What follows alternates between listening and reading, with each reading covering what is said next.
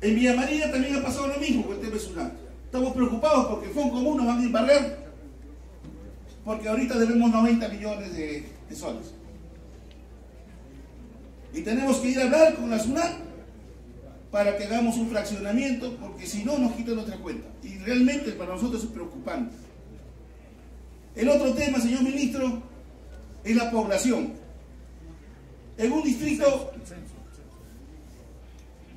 de Villa María del por decir, la población es 700 mil habitantes. Pero sin embargo, el 56% de esa población tiene el DNI de otro distrito. Solamente el 46% tiene el DNI de Villa María. Pero la población nos exige. La mayoría que están en los cerros, la limpieza, nos exige la seguridad. ¿Por qué no hagamos un censo real, señor ministro? Para ver de acuerdo a la población real que tiene cada distrito y se le trae el fondo común como debe ser.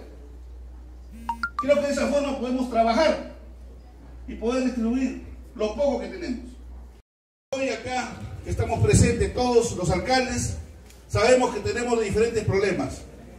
Felicito a toda la organización que hoy nos ha abierto las puertas y nos ha dado bienvenida.